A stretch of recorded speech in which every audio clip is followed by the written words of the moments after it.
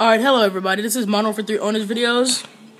I am recently on YouTube and everybody's um having I have not absolutely have not seen anything about the uh resetting a password on the Android mid 7016.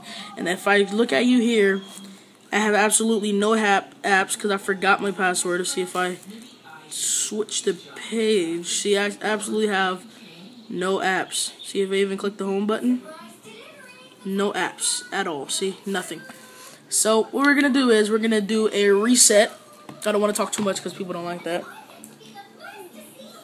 See if it can focus. Oh, if it can't, then oh well, because it's a uh, mid 7016. I'm on my iPhone, so you know.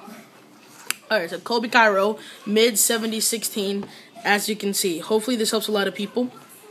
Um, I am connected to the internet right now, but I'm going to show you how to reset. Alright, so what you're going to do is, if you look here, you have the power button and the home button. If you hold these two, just hold them. Well, just first turn off your tablet. So you're going to turn it off. And you see power off. Gonna power down. Alright. The Kyros is officially shut down. Now when you turn when you turn it back on, you're gonna hold this power button and this button at the same time. Go. Wait. Go. Okay. Now you can let go of the power button, but hold this button. Just hold the home button or the back button. Alright, now you can let it go. I am not going to do it, but this is what you do. You see how it says, uh, alright, there we go. You see how it says reboot system now? Well, you're not going to do that because what the heck are you rebooting for? That's basically like hitting the reset button. So, what you're going to do is, if you see up here, you have the volume button. If you can see it, like right here.